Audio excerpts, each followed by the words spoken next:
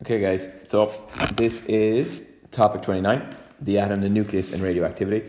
So it's the second topic in modern physics, or nuclear physics, as some people like to call it. Um, so after this, we will only have two more to do one kind of compulsory topic, and then the last topic, particle physics, which is the option question. Okay, so this topic here is pretty much very, very theory heavy, and pretty much all theory.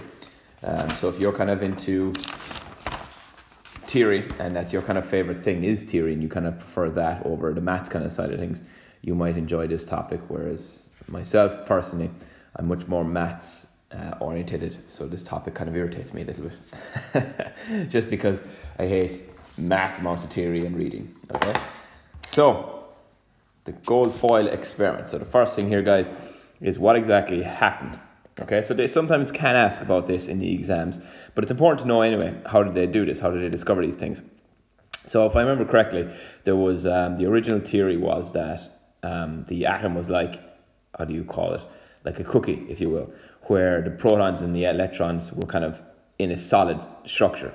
Okay, and it took a long time before they got the Niels Bohr model, where they realized that there was actually a, a central nucleus, and then the electrons orbiting out the outside. And then, of course, it turns out the Niels Bohr model was too simplistic, that there isn't actually, there is orbits, but it's more like an electron cloud. But that's that's way too complicated. Uh, it's a lot easier to try and understand the, the orbit structure. Um, while it's incorrect, it is pretty good to get the idea across to what exactly happens. Okay, so what they did with this test is they fired alpha particles at gold foil. Okay, so if the the um, the cookie structure, if you will, was correct. Okay, or as I down here, the plum pudding, that's what it was, sorry, plum pudding interpretation was correct. Then all of the particles would have struck the gold leaf and then bounced back off. Okay, so we're off to a good start with the pen not working. Brilliant. I have ordered a new one and I have no idea where it is. Lost in the mail, probably. Um, so that's what should have happened. Okay, so if this was the, the plum pudding, everything would have bounced back. But instead, that's not what happened. Instead, some particles, most particles, went straight through. Some particles deflected off at angles, and other particles got completely bounced back. Okay? So, this at the time changed everything. All right, so if the plum pudding was correct, everything, absolutely everything, should hit that gold foil and bounce back. But instead, they went through it. Some bounced off at angles, and others hit the gold foil and bounced back. Okay? So, what did that get them to think. And this is to think about physics or about all sciences, really. Okay, it's why, um, especially in this day and age now, with um, conspiracy theories flying around, um, how science is meant to work is you have an idea, you test the idea, and whatever the result is, that's it. That's the reality of it. And then everybody else will come up and test your idea. Okay, and if your idea can hold up against all the tests, then your idea is taken as fact. Okay, so the plum pudding idea was taken as fact, not out because obviously they didn't have technology to test it. So then eventually they did. They decided, no, we can test it. We can fire alpha particles at this. If you're correct, everything should bounce back. It didn't. It went through. They detected it. So now they had to come up with, well, why did that happen? So they have to come up with an explanation. So why is it that this happened, not that? Okay. So why is it that some things went through, others didn't, instead of everything coming back? Okay. So they came up with the next stage.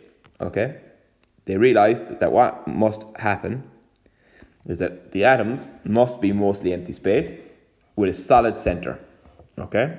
And the electrons orbit around the outside, okay? Now, the reason they had the electrons orbiting around the outside is because the electrons obviously are negatively charged, okay? And they would move. They'd move, hence why we get electricity. And the nucleus never really moves, so they obviously had to piece that together. So you have the nucleus in the center, which is positive, the electron in the outer shell, which is negative, and the electron is drawn to the neutron, or sorry, the proton, not the neutron, and the proton is attracted to the electron, and thus you get your, your atom. And what you see here is kind of what happened. So as you can see, most of the red lines are just going straight through because it's mostly empty space. Chances are they're going to go through. One or two, like for example, here, strike the nucleus and that makes it deflect off, and then others strike the nucleus head on and bounce straight back. Okay, they go off, they repel and bounce straight back. Okay, so while most things will go straight through, others will actually get deflected back. Okay, or deflected off at an angle, and that's what kind of happens. Okay, so The nucleus, incredibly small. So the radius of a nucleus is 10 to the minus 15. So what that means is you divide a number by 10, 15 times. Okay, that's how small it is. Okay? And it's mostly empty space. So technically, you are mostly empty space. So the next time somebody tells you you're a waste of space, tell them technically, no, I'm made of atoms and they are mostly empty space. And then you get kicked out of the house for being a smartass.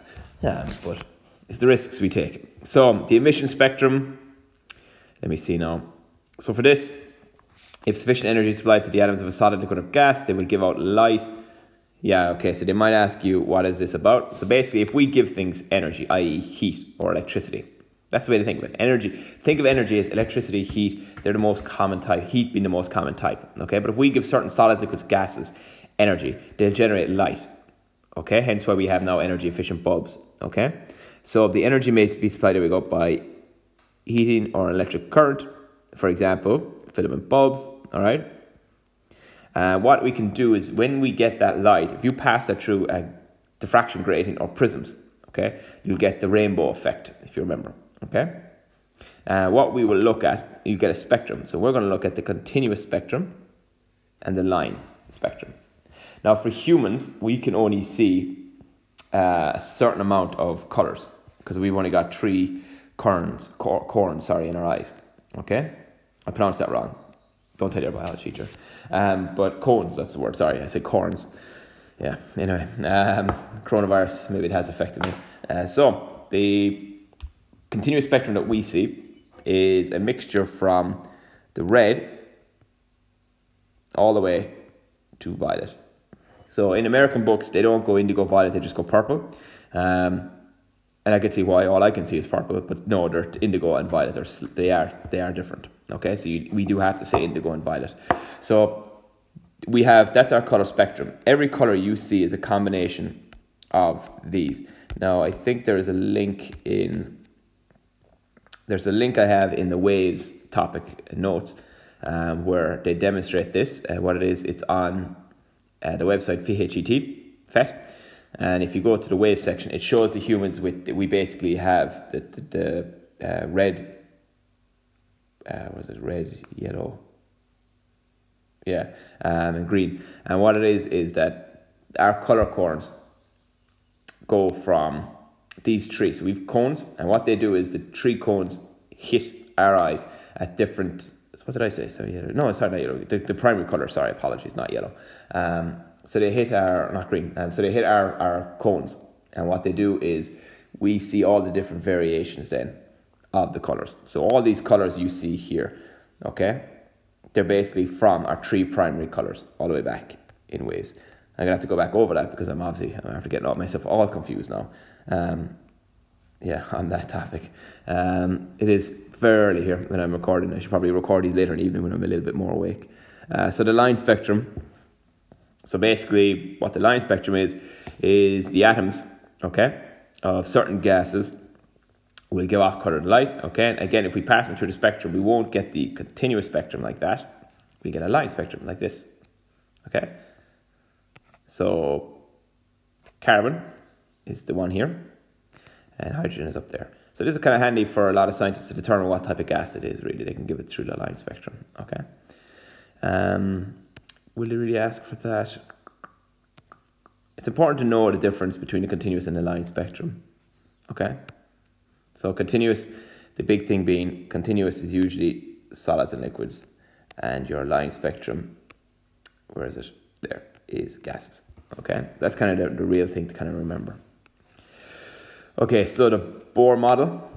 Uh, so what we did in the Bohr model, if you remember back to junior science, uh, chemistry, junior chemistry, um, you kind of covered the Bohr model and the, the idea of the orbits and stuff like that. Now, we don't go into too much detail here in modern physics, but you do need to know um, the basic structure and some basic things to be able to explain it. All right. So, for example, uh, electrons could only inhibit certain discrete levels. Okay. If they get enough energy, they will jump to a higher orbit this is of course unstable and they will eventually fall back down. And when they fall back down, they'll emit electromagnetic radiation. Okay? So the electron, uh, I think actually I have a diagram here. So the electron here, if you see, it's down in level one. And that shouldn't be that should be energy three because that's actually the third level out. Anyway, so it's orbiting, it gets energy, so we bring energy in. Okay. And this electron jumps up. Okay. So once the electron jumps up to a higher form, okay, all right, so it, it jumps up. It is, of course, unstable. And therefore, when it's unstable, it drops back down, as you can see here, drops back down. And then all the electromagnetic energy gets released. Okay? So all the electromagnetic energy gets released. Now, the energy of an electron, okay, is they're each at an energy level. Okay? So usually E1, E2, E3. Okay? Now, when it gets out, they often call it, I call it unstable, but it's the excited state. So it's in an excited state, it's got a lot of energy, it's shaking, you know, shaking with excitement. Um, however, eventually, um, it gets to see, it gets, it gets to see, sorry, um, it, it releases the energy, it falls back down, okay? And we can actually calculate this, okay? We can calculate the amount of energy given out. If you remember back, E equals hf, Planck's constant, you see? That's where this equation comes from here, all right?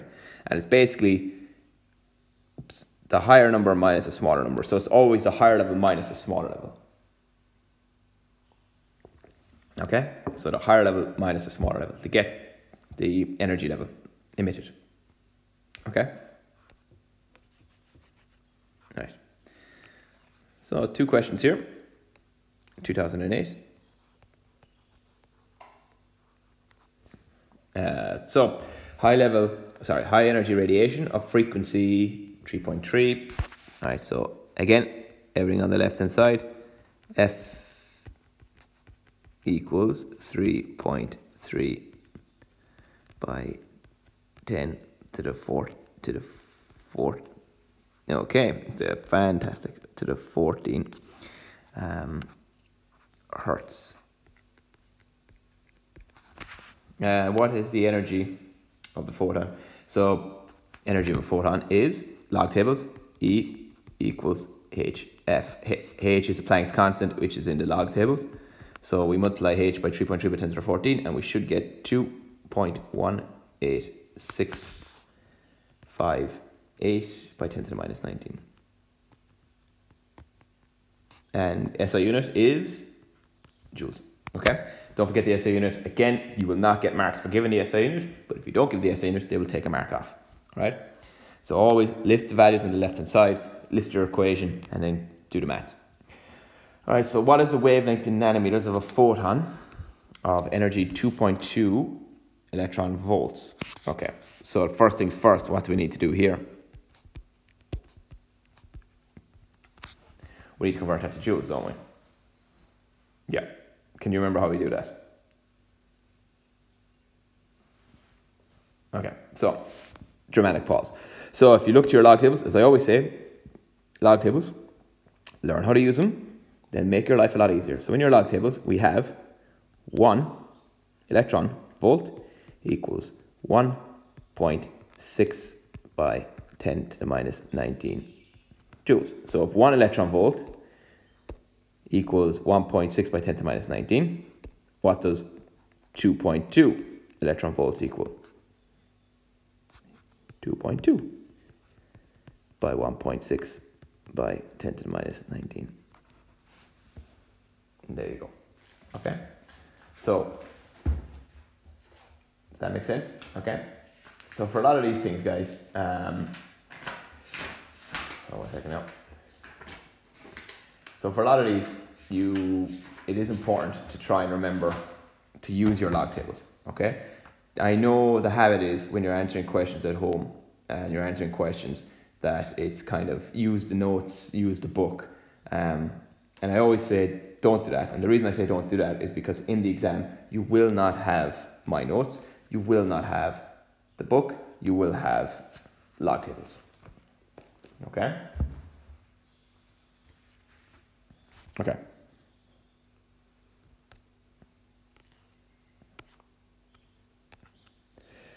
So, structure of the nucleus. And actually, something's irritating me now. I better go back. I'm going to go back here. All right, so yeah, red, blue, and green. Okay, so as I said earlier, I got mixed up. I said red, yellow, green, and I just realised um, I never actually clarified what I was what I meant to say. Uh, so it's not red, yellow, green. I don't know why I said red, yellow, green. Our primary colours are red, green, and blue. Okay, and our secondary colours then, okay, uh, our secondary colours are yellow, cyan, and magenta. All right. So if you go to the FET website, you'll see that where they show the three cones. Um, I just had to go back there when I could because it was it was irritating me that um, I said yellow and I don't think I corrected myself. So I just wanted to correct that there. Okay? All right. Um, yeah, so it's okay for me to make these kind of mistakes, guys, because uh, I'm not doing my exam. but no, it's not. Um, no, so look, see, uh, I have an awful, as you all know, guys, trying to remember things. I find it very difficult, as a lot of you do. There's a lot to take in. So try and make it easier on yourselves. So with the, the line spectrum there, the color one, try and always think, um, okay, Where, where's my marker? Okay, red obviously, we're always going to see. Okay, blue obviously, okay, is what we always see as well. So they're too common. And what a lot of people get mixed up, and I often do too, I get mixed up with yellow and green. Okay, because everyone said from a young age, if you mix yellow and blue, you get green. Okay, but you have to try and remember that it's green. All right, simply because if you mix uh, red and yellow, you get white. No, sorry, you don't get white. If you mix red and yellow, you get. That'll be mixing red, green. I don't know, you get some weird color color combination. You'd have to mix uh, red, green, and blue together to get white. Okay? So that's kind of it. It's an awkward one. That's a bit of a revision for waves for you. Um, anyway, back on topic. I'll be doing one on wave nature of light anyway uh, later. Okay, back to this. So the structure of the nucleus. Uh, I'm going to fire through this. You should really know the structure of the nucleus by now. Protons are positive, electrons are negative. So the atomic number, here we go. So the atomic number, what is it? The atomic number of an element is the number of protons in the nucleus of an atom of that element. What is the mass number? It's the total number of protons and neutrons in the nucleus of the atom. Okay? The mass number is given the letter A, and the atomic number is given the letter Z. Okay? So the mass number goes on top, the atomic number goes on the bottom. In chemistry and in the log tables, it's the other way around. So why did physics do it this way? Because if we made physics easy, everyone would want to do it. So your mass number, easy way to think of it, guys, the mass number is the bigger of the two numbers. Why? Because the mass number is the atomic number uh, plus the neutrons. Okay? So it's always going to be bigger than the atomic number. So the bigger number is the mass number. Okay? Now you can get the log tables for all of these values. Usually they'll give them to you, but if not, you go to the log tables and it'll have all of them. All right? So from again, this is all juniors or science, guys. Number of neutrons is the mass number divided by the atomic number. Number of electrons is number of electrons is the atomic number. Number of protons is the atomic number. Now, realistically, the atomic number me usually if it's a, if it's a neutral, um, it's going to be the number of protons and electrons. But if it's not neutral, in other words, an electron could have gone or come in, then the atomic number is different. Okay. All right. Uh, radioactivity. This is an important definition you need to know. It is the breakup of unstable nuclei with the emission of one or more types of radiation. Okay, it's the Becquerel. I apologize, I've been pronouncing it wrong since the day I started physics, but nobody's corrected me yet. So, uh, so what do we use radiation for? Many things. Um, carbon dating, smoke alarms. Literally, if they ask guys, um, we use it for cancer treatment. We use it for lots of things. Okay. All right radiation. Oh, sorry, that was. Oh, apologies. No, uh, I misread that. It's not radiation. It's artificial radioisotopes. Okay. Uh, yeah. So agriculture. I don't know how to use it in agriculture. Food irradiation, radiocarbonate, and all these things. Okay. So there's many. There's many. Okay. You don't. There's there's actually more than just those six. You can pick any of the six. Okay. Uh, radiation from the nucleus. Okay. So unstable nuclei. They can become stable they get rid of any excess energy. Okay? How to do this is radioactive decay. Now I'm going to call it radioactive decay, or you can call it radioactive disintegration. You want to mean the same thing. All right? There are three types of radiation that are going to be emitted. You have the alpha, the beta, and the gamma. Okay, so you have the alpha radiation, the beta radiation, and the gamma radiation. All right, they're the three types. What you need to know, you need to know which is the strongest. Okay, the most pen and by strongest, the large, uh, the, the greatest penetrating ability. Okay, which um, has the greatest range and all that. Okay, that's basically, and then you have to be able to show how to test that, and that's what we're going to go through here. Okay, so in an electric field, all right Gamma radiation is unaffected, it just passes straight through. Beta gets pulled towards the positive plate, alpha gets pulled towards the negative plate. So if beta gets pulled towards the negative plate, what does that mean? Or pulls towards the positive plate. What do we say about particles? Opposites attract. So if beta goes to the positive, that means beta must be negative and alpha must be positive. Okay? So beta, we later find out, is actually an electron. Okay? An alpha particle is He42. Okay? The beta and the alpha, of course, are oppositely charged, so they go in opposite directions. All right. In a magnetic field, then, gamma, once again, goes straight through Alpha behaves like a positively charged particle, beta behaves like a negatively charged particle, but note they go completely opposite directions to each other, okay? While gamma is unaffected. So gamma is unaffected in everything, it just goes straight through, okay? And lastly, penetrating ability. So the alpha particle gets stopped by a sheet of paper. The beta particles and the gamma will get through, however, when they hit a sheet of aluminum, the beta particle will stop Gamma will keep going until it hits concrete of about a meter thick or lead. Okay, so in nuclear, in the Chernobyl, the, the, the problem wasn't really so much alpha and beta, it was the gamma rays.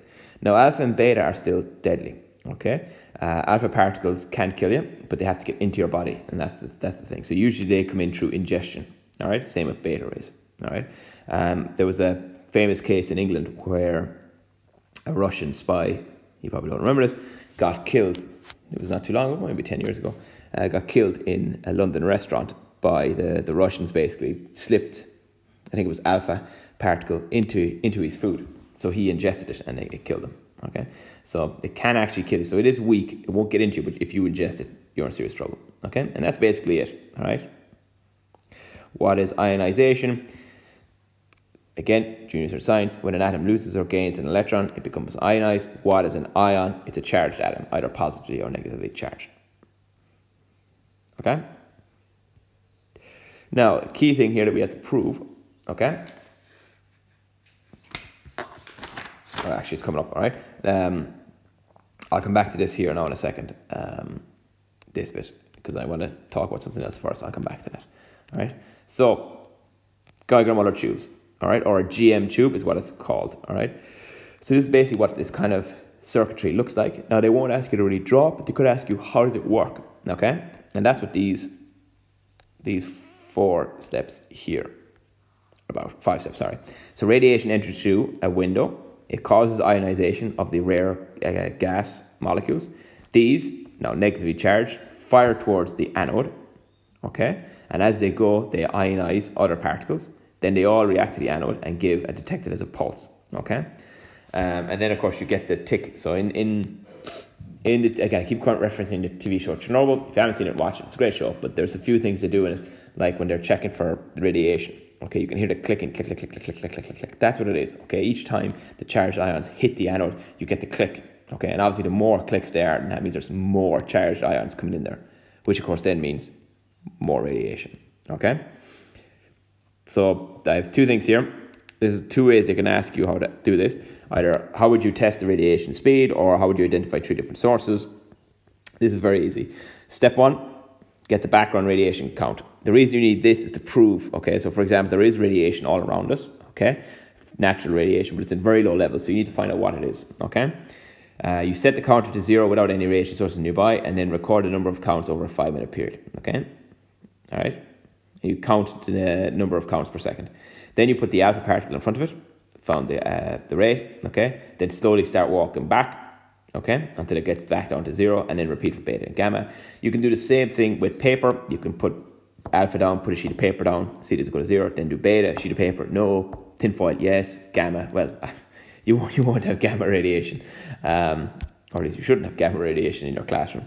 You have other problems if you have gamma radiation. But if you did do this, you would find out that gamma radiation gets detected at the greatest source from the detector. It has the greatest range, okay, out of all of them. So alpha is the weakest, beta is the second, gamma is the strongest, okay?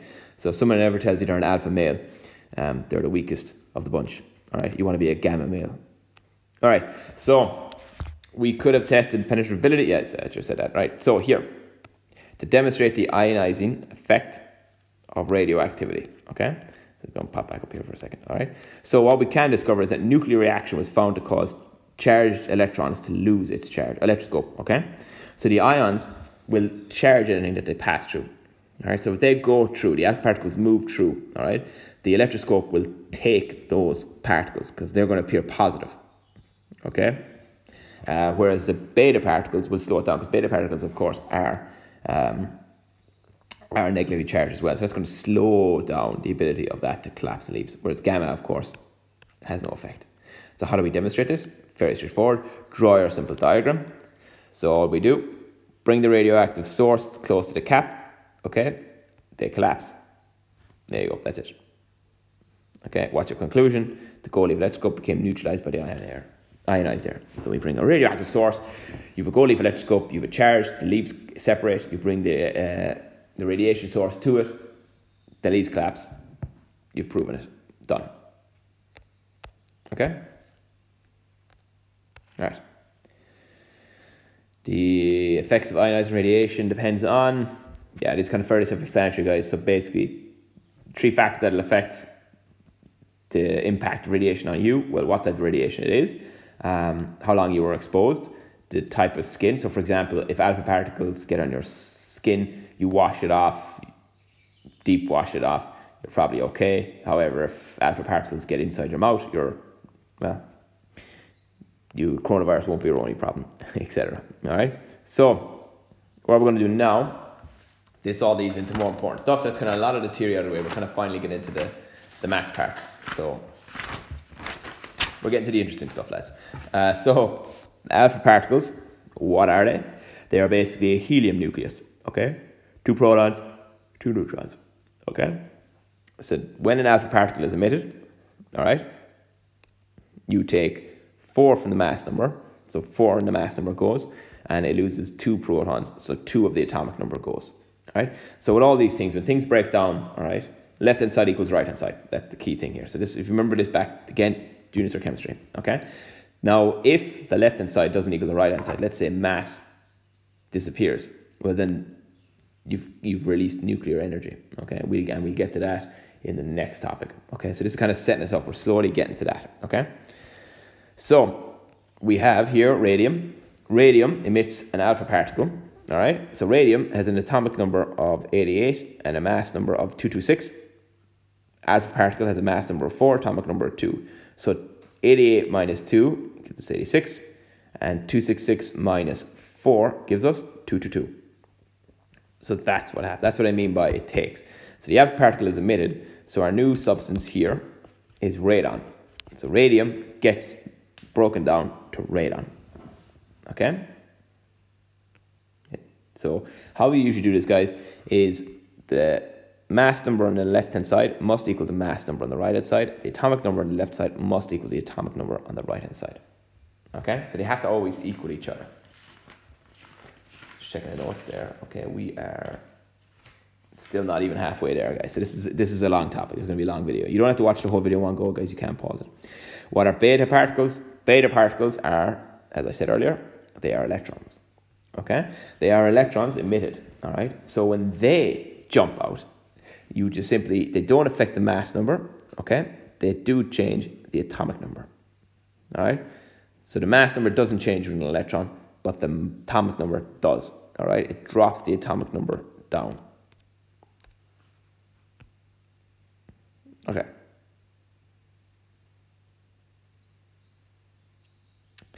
Gamma high frequency, oh, and actually here, for gamma, what is a gamma radiation? It's a high frequency electromagnetic radiation emitted from the nucleus of a reactive atom, okay? So what happens with this? Why doesn't anything change? Okay, the structure remains the same. Okay, but the nucleus does lose energy and becomes stable. Okay. So these things are very unstable. By releasing gamma radiation, they release that excess energy. The electrons go back down to their original um, orbit, and the atom basically becomes um, a lot more stable. I was about to say a lot calmer, but that doesn't make sense. A lot more stable. Okay. Right, so we'll, let's just summary. We'll answer these few questions here. All right, so how many protons, neutrons, and electrons are there in a neutral atom of each of the following?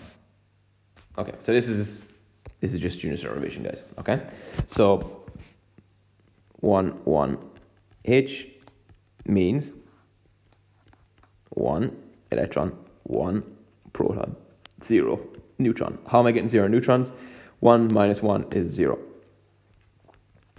4, 2, He means 2 electrons, 2 protons.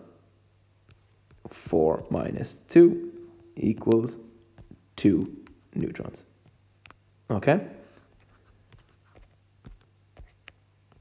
So the atomic number, the number on the bottom here, is the number of protons and electrons. To get the atomic number or the, the neutrons, you subtract the mass number from it.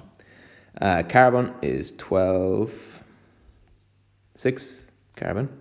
So that's 6E, 6P,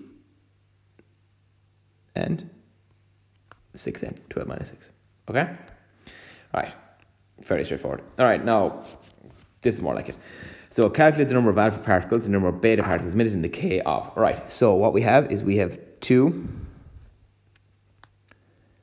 3, 8, 92 uranium drops to RA 22688. So the first thing we need to do is change in the mass number. So we're going to look for the mass. So it's 238 minus 226, 6, 8, 2, 12. Okay, so the change in mass was 12. Okay? Now, each alpha particle is 4, 2, so their mass is 4. So 12 divided by 4 equals 3. So there are three alpha particles here. So we simply add that in. Oh, 3, 4, 2, H, E. Okay? So now that adds up. 226 plus 12 equals 238. So the mass numbers are correct. So now we got to look at the atomic numbers. So the atomic then, so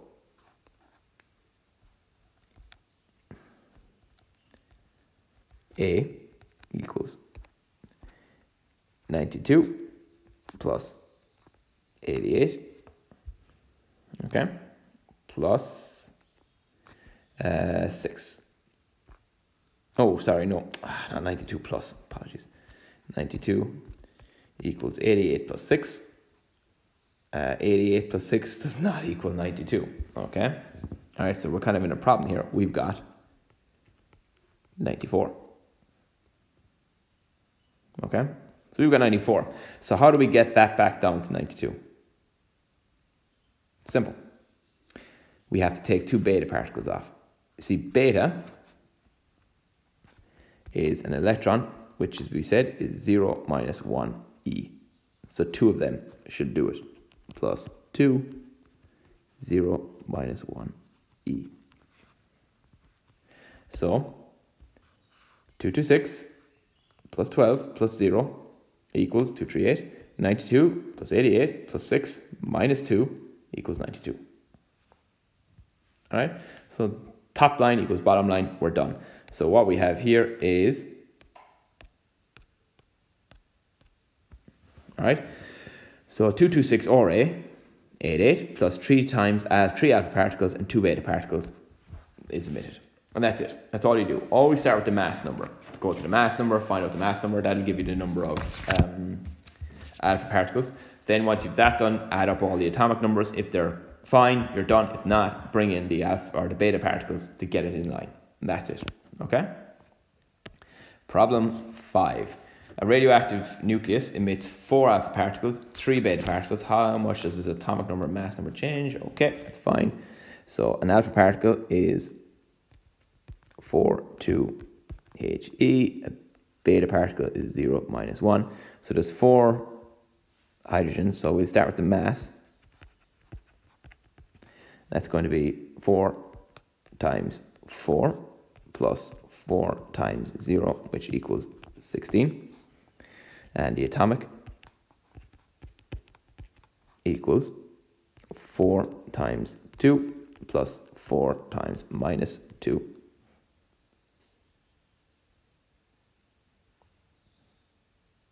Oh, I made a mistake there. Apologies. I was going to say there's no change in the mass of uh, the atomic. So it's 3 alpha particles. There we go. So 3 alpha particles. So 4 times 2 plus 3 times minus 2 gives us 8 minus 6 yeah, equals 2.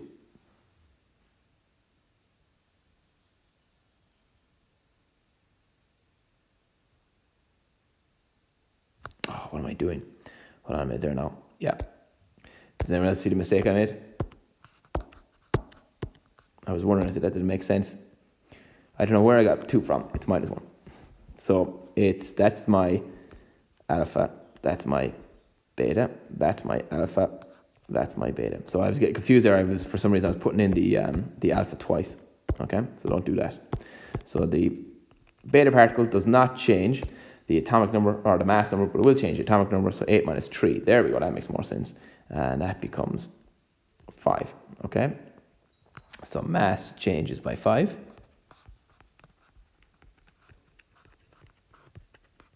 Not by 5 by 16. Atomic changes by 5.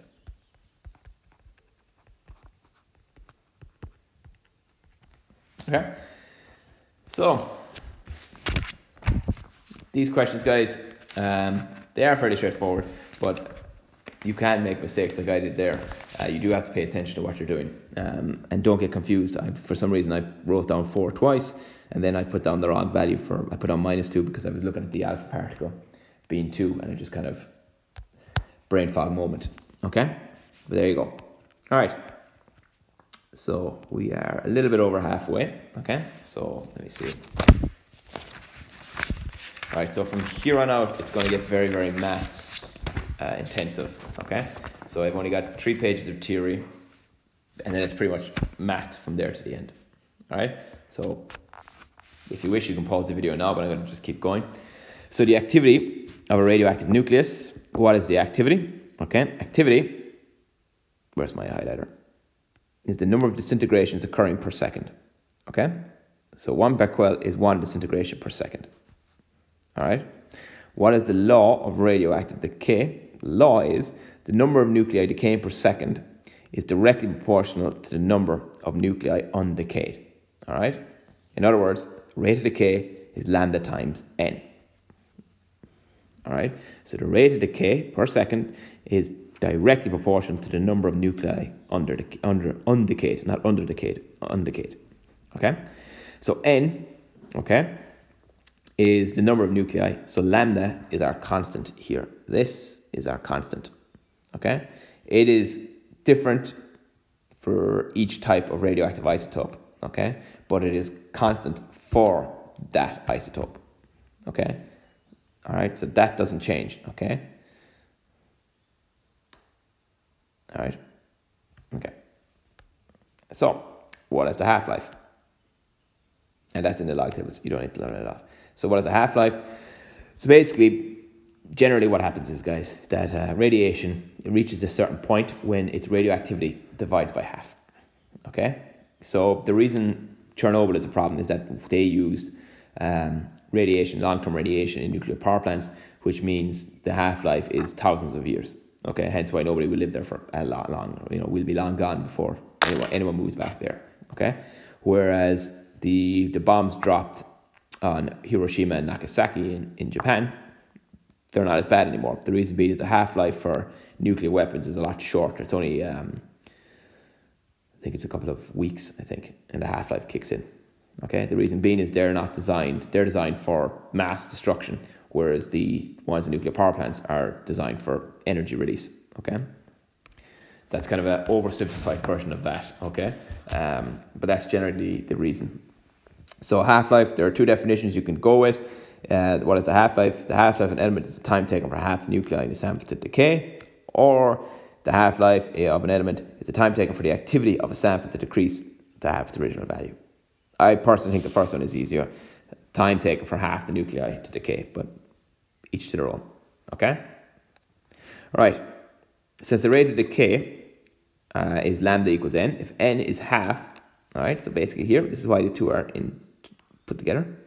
If n is halved in a given time, the value of the rate of decay is also halved in this time. Okay? So in other words, the number of atoms disintegrating per second decreases by half. So if the half-life happens, the number of disintegrations happening per second also goes down because the rate of decay is proportional to n. Well, if n drops down by half its value, then the rate of decay drops down by half its value. Okay, so that's why it's all interlinked. Okay. All right, so this is kind of what you get. This is kind of your graph here. Okay, where you have 200. Now, if you got a graph like this in the exams and they say, what's the half-life? Okay, how you would do it is you look at the start number which is 200, and you go to where there's half 100. You see? And then you go to the next one, 50, and the next one, 2.25, and 12.5, and all the way down. Okay, you never actually get to zero. Okay, if you keep put, dividing something by 2, it'll never get to zero. Okay? Uh, it'll just get smaller and smaller and smaller and smaller and smaller. All right? So, yeah, that's kind of it. That's how you read this graph, really. Okay. The relationship between the half life and the decay constant. Okay. Here we go. T half ln over 2, or ln2 over lambda. Okay. So through experimentation, they have discovered that the decay constant and the half-life are interlinked. Now, you don't need to know that experiment, um, and more likely, unless you do specifically nuclear physics, you probably will never have to do that experiment. Okay. Um, in your log, you can also, it's, I just summarized it up 0.693 over lambda because that's basically what ln2 kind of is. All right. So, bit of key, a key thing here for you. All right. So, math questions radioactive decay are like comprehension questions. You need to read the question a couple of times, underline each relevant point, and remember there are only two formulas. Okay dn dt, okay, rate of decay. Oh, sorry, I meant actually. The rate of decay, where where's dn dt? Where does that come from? If you go to your thing here, okay, your activity, this, the activity is also n, okay, and this is your time t. So if you remember back to um, calculus, change in your y-axis, change in your x-axis, dy dx, okay? Well, here it's going to be dn, change in the number of atoms, divided by dt.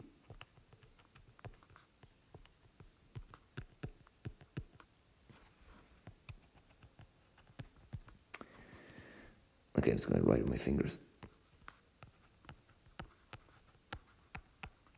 Okay, the NDT. That's where the dNdt comes from. Okay, so the NDT, the reason it's dNdt is because the change in the number of um, uh, the number of um, nuclei uh, divided by the change in the time, dNdt. Okay, so if you remember back to calculus, guys, when you're getting the curve of a, of a line, that's where the dNdt comes from. You call it dy dx. Okay, that's all. Now, the rate of decay, it can be called any of these five things. So remember these five things. They'll say the activity, the rate of decay, the number of particles emitted per second, the number of particles undergoing decay per second, the number of disintegrations per second. There are five different ways to ask for dNdt. Okay? And you need to know all of them because the, in the question they will say the number of disintegrations per second were, or um, the, the number of particles that underwent decay per second were, and leave it at that. Okay? If you're nice, if they're nice, they might just tell you the activity, but these are the five different ways of saying the same thing. Okay, so you do need to know them um, solid state detector. Yeah, look, not really much to say there. How does it detect radiation? The GM tube is probably the better one. Okay, now you can, I doubt, I doubt the last for this one. Okay. Okay, radioactivity. Most non-radioactive stable isotopes can be made. So here we go. Now we're going to come back to this in the next topic anyway. So we can make non-radioactive radioactive by barring them with neutrons. Okay, these are uh, captured in the nuclei of the atoms. Okay, and they eventually make the atoms unstable. Okay, and cause them then to break down, releasing nuclear energy. Okay, and of course uses of radioisotopes loads. Okay, no two, you should be fine. Okay. All right, and there's those two too. Problem six then, so we're getting into the maths then, okay? So, a radioactive isotope. So hang on, we've got one, two, three, four, five, six, seven, eight. All right, so we've got eight questions. And then we're on to atomic mass, and then one, two, three questions from there. All right, so it's, we're finally onto my stuff, the maths. All right, so the radioactive isotope has a half life of five years. Right. What fraction of the isotope will remain after 20 years? And what fraction of the isotope will have decayed in 20 years? Okay, so there's, there's an easy way and a hard way to do these kind of questions. The hard way is you basically say, well, five years is the half life, so 20 divided by 5 is 4 half lives. So 1 equals a half, 2 is a half times a half equals a quarter. 3, a half times a half times a half. And 8, 4, a 16th. Okay? So 1 16th remains. Okay? That's fine for this, but what if there was 50 half-lives? Are you going to go all the way down, continuously multiplying by 2? So what trend did you see here that we can make this a little bit easier? Did you notice that each time we just increase that by 2? So it'd be easier then. So half-life 1 over 2 n. Okay?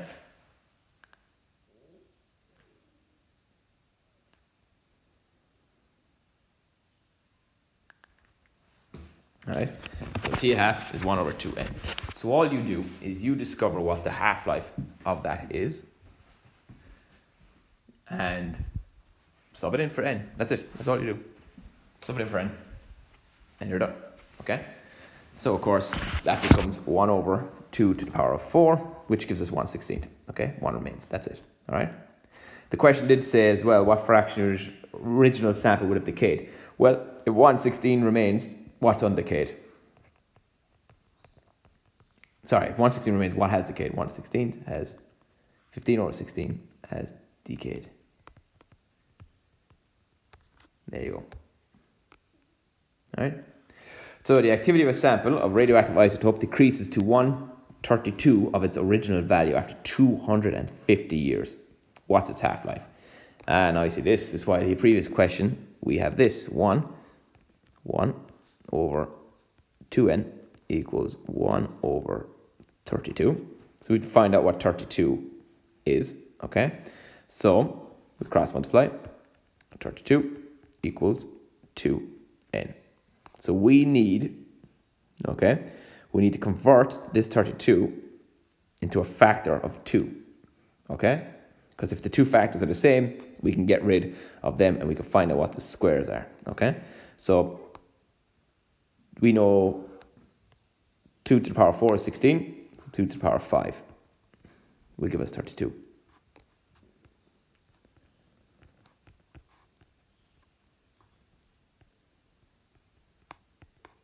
Okay, so for maths, if they're the same, then that means the squares are the same, so 5 equals n. Okay, so therefore there's 5 half-lives. All right, so 250 years Divide that by 5 gives us 50 year half-life. So it's got a 50 year half-life. Okay? So, There's a bit of maths there now. Um, I think that's in the log tables actually anyway. All right, so problem eight. The half-life of a certain isotope is 20 minutes. So we got to convert that. Oh, good. My tablet's doing that again. So I'm just going to read the question. I'm going to roll it up because I can't be dealing with this. How many half-lives are there in five hours? What fraction remains undecayed after three hours? What fractions decayed are in 40 minutes? And what fraction remains undecayed in n half-lives? Okay, so time, we've got to convert that. So it's in 20 minutes. Well,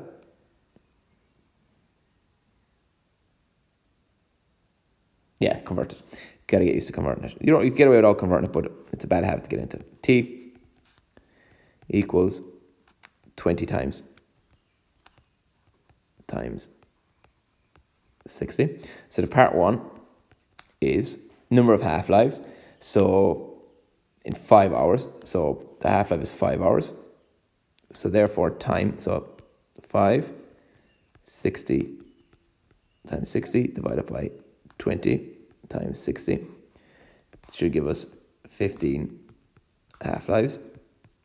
Okay, so the time, so five hours is going to pass, the half-life is 20 minutes, so just divide five hours by 20 minutes.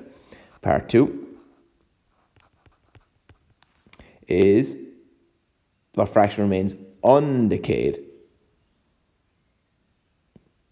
No, that's, yeah, undecayed after three hours. Okay, so that's the same thing, 3 times 60 times 60 3 times 60 over 60 divided by 20 times 60 gives us 9 half-lives. So 1 over 2 to the power of 9 gives us 1 over 512 undecayed. So after 9 half-lives, 1 over 512 of the original sample remains undecayed. Okay, so I'm going to rub out the top bit now because I, I need the top bit to get the rest of the question. So, part three. Uh, what fraction has decayed in 40 minutes?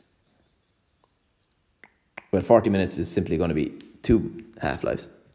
So, because 20 minutes is half-life, 40 minutes is two half-lives. So, 1 over 2 to the power of 2 is a quarter which means three quarters has decayed. And I'm going to roll the bottom bit here.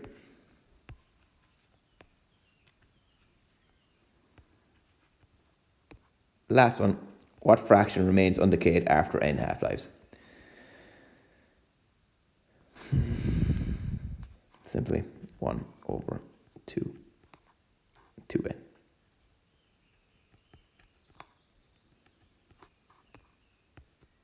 Okay, there you go.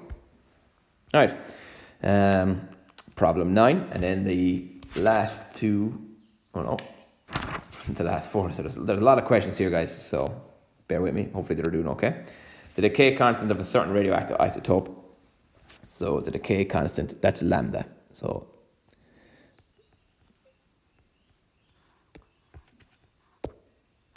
so this uh, slowly by time, this pain gets worse and worse lambda equals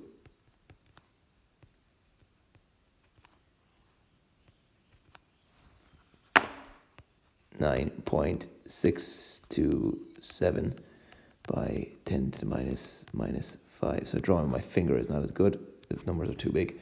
Uh, what fraction remains undecayed after six hours? So, oops. So the time equals 6, 6 time, times 60 times 60. Okay. And so the half-life, T, a half, equals L, ln 2 over lambda, which should give us 72,000 seconds. And then we simply divide 660 by 60 by 72,000 and we should end up with 3. At least that's what I got. Check your maths there and make sure I didn't get that wrong. Okay, so therefore 1 over 2 to the 3 equals 1 over an 8. So an 8 is undecayed. Alright, so what fraction remains undecayed? 1 8. Uh, let's give me a little bit more space there. 1 8 undecayed. Okay, so lambda equals is the decay constant. It gave it to us. Time we convert to seconds. So ln2, oh, half-life is equal to ln2 over lambda. Okay, so sub in your lambda value and we get 7,200. Uh, and then of course you divide that into the total hours, which was, what do we say, six. And we get three. And so therefore, how many half-lives? One over two to the power of a half. Or so how many undecayed? One over two to the power of a half. That should do it. Okay? So problem 10. Oh. I hope you drank enough coffee before we started this. This is much longer than I thought it would take. Um, so, an alpha emitter. An alpha emitter has 2 by 10 to the 15 atoms undecayed at a given constant. Okay, uh, that's n. How many left? n. Well, uh, let's read the full question. If lambda equals 8 by 10 to the minus 3, find the, see the they give it to straight away. Find the activity. what is activity? Okay, well, activity equals lambda times n. Okay, so n is 2 by 10 to the 15. Lambda was given to us as 8 by 10 to the minus 3. Write everything on the left hand side. Fill these two values in up here. So our activity should end up being 1.6 by 10 to the 13 BQ. Okay. Right. Uh, problem 11. The half-life of uranium-235, which is an alpha emitter. So, half-life.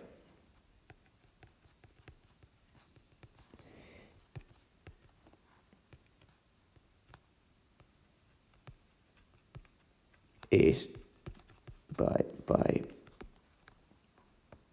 ten to the eighteen. Yeah.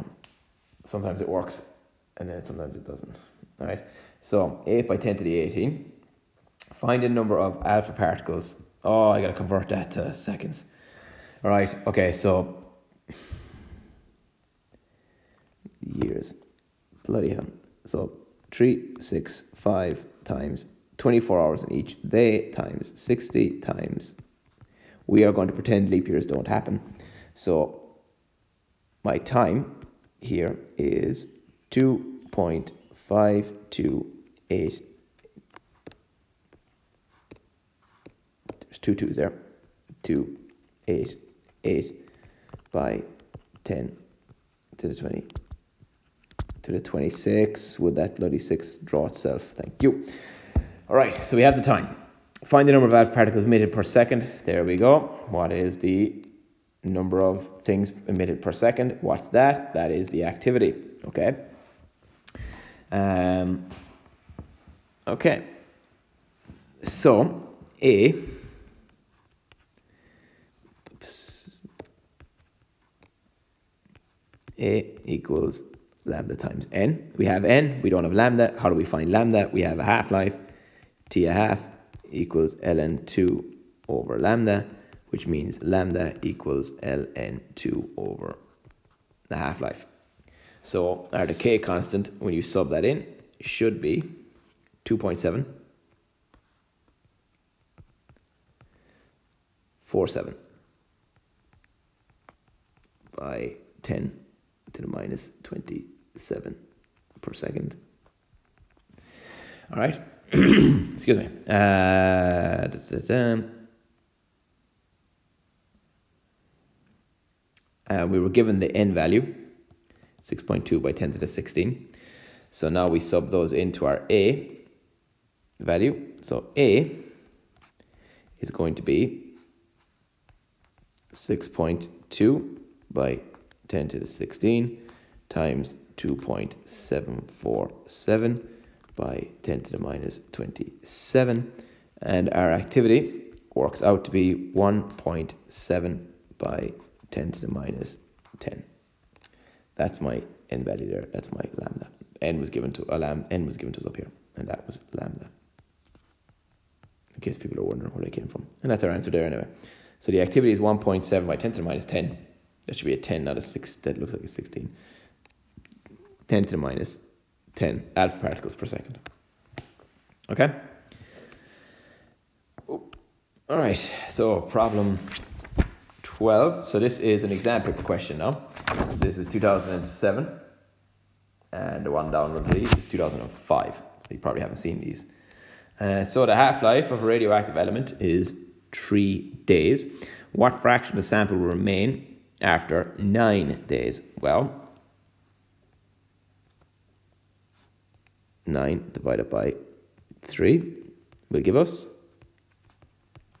3. So 1 over 2 to the 3 equals 1, 8 remains.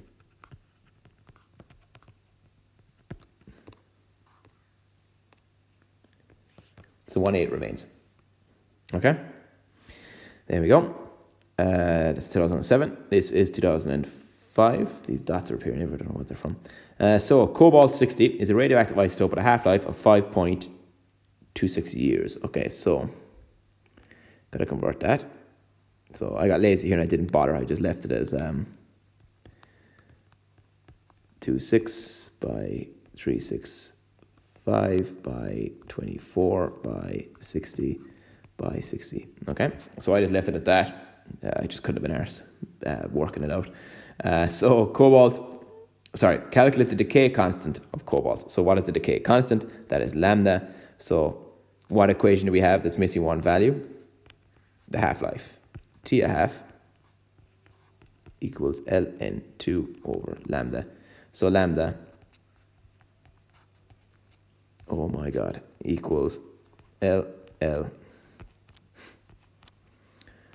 L N 2 over the half-life. So when I sub in that value, I will get 4.18 by 10 to the minus 19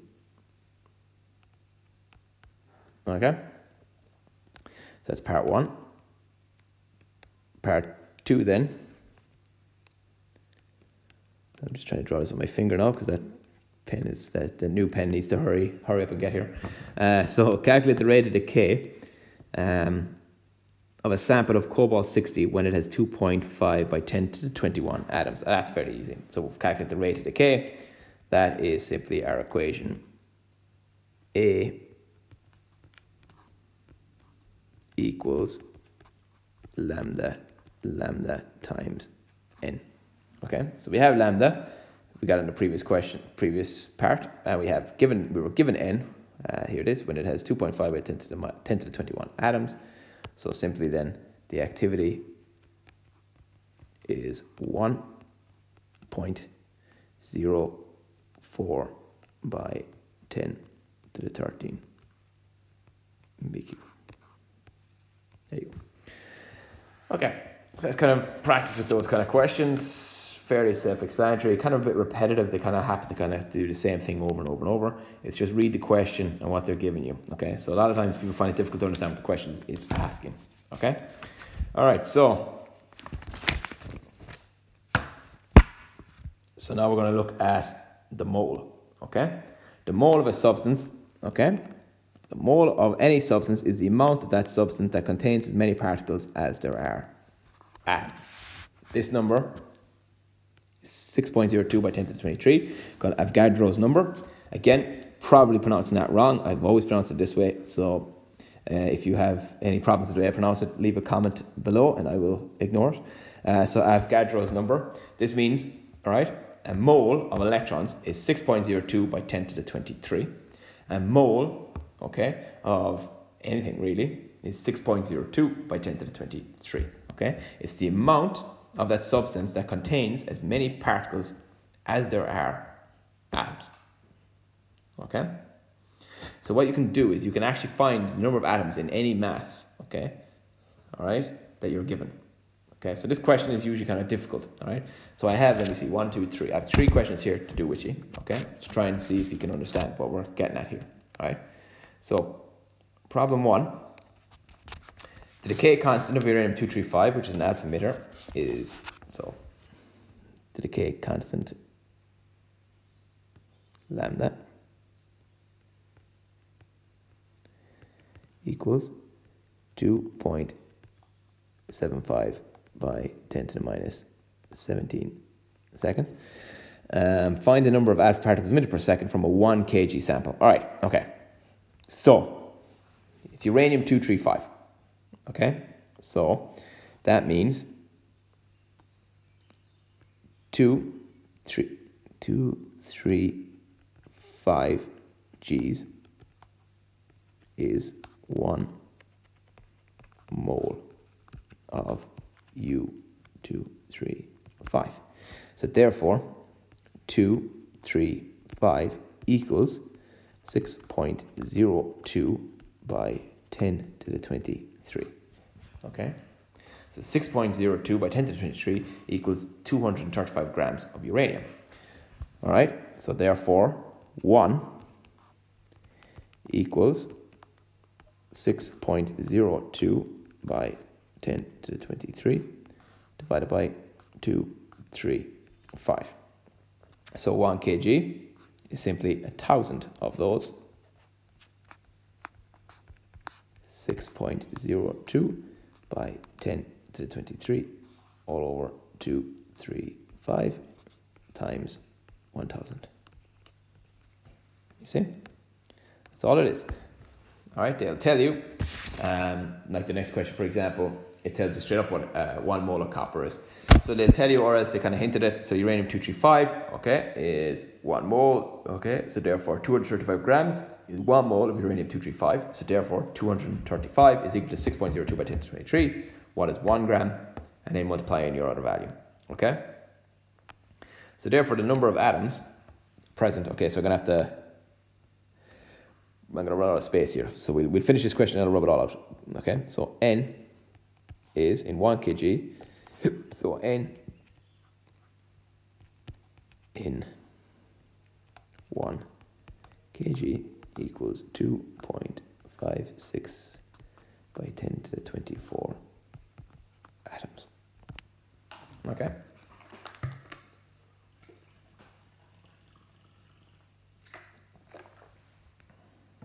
So the number in 1 kg sample is 2.56 by 10 to the 24 atoms. Okay. So I'm going to rub this out because I need the space just for the last bit. Okay, so the last part there is, actually the question was, um, find the number of alpha particles emitted per second. So basically that's the activity. So the activity, A equals lambda times n. We had lambda given to us in the question, we just found n. So your activity, when you multiply those two together, should be 7 by 10 to the 7 alpha particles.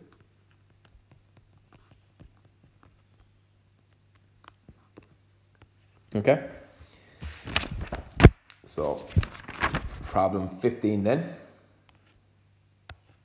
How many atoms are there in 2 grams of copper? 1 mole of copper is 64 grams. Okay, so again, same thing again. 64, therefore, is a mole. So 64 equals 6.02 by 10 to the 23, okay? Which means 1 equals 6.02 by 10 to the 23 divided by 64, which means 2 kgs is 2000 grams is that number times 2000 which should be 1.88 by 10 to the 25 atoms.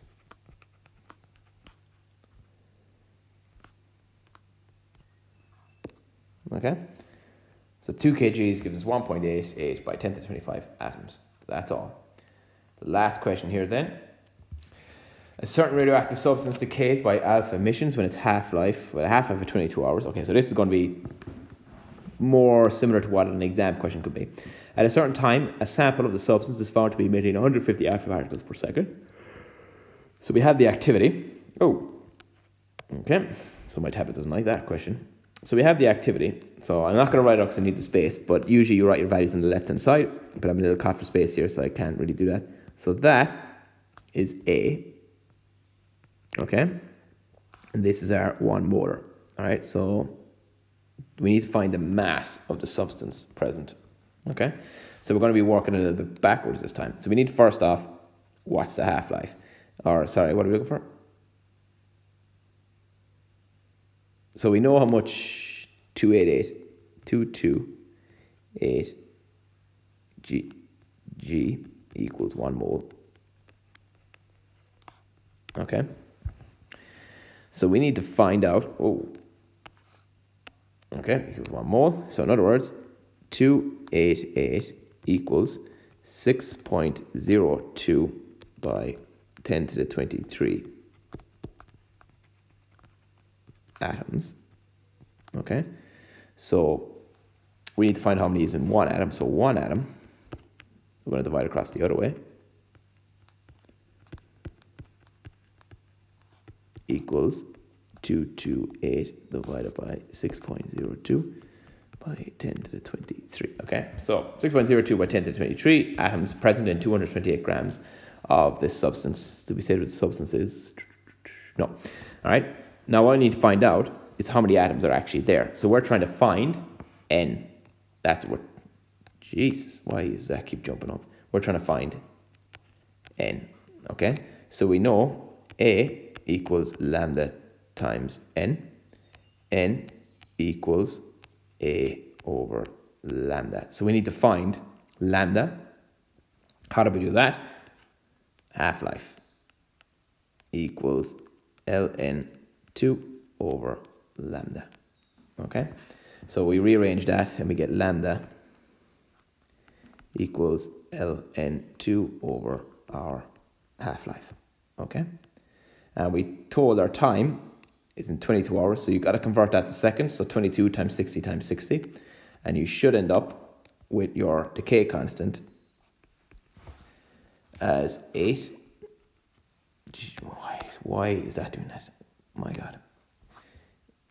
Actually, you know, I'm going to have to just rub that out. Okay, so I'm going to move this up a little bit. All right, so I'm going to have to move this up to here. All right.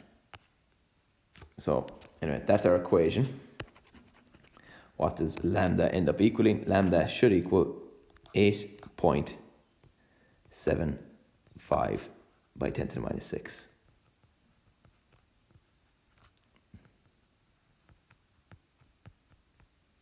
Okay, 8.75 by 10 to the minus 6.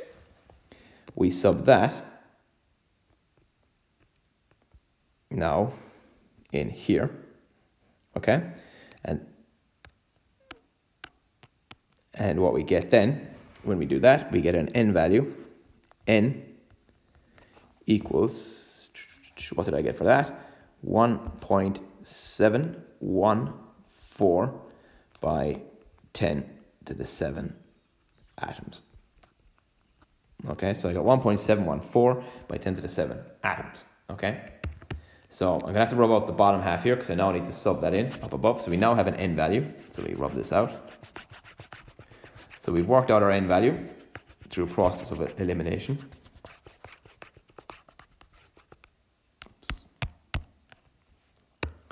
So we now need to find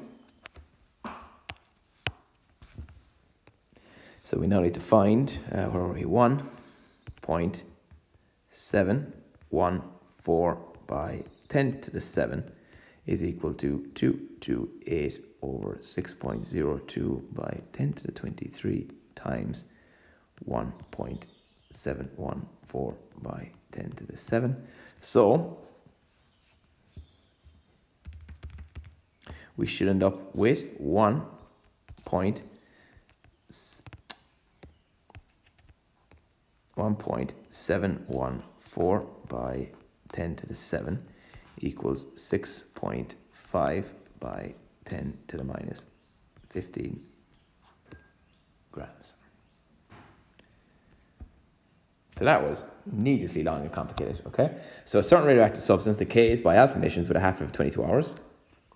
Okay, at a certain time, a sample of the substance is found to be emitting 150 alpha particles per second.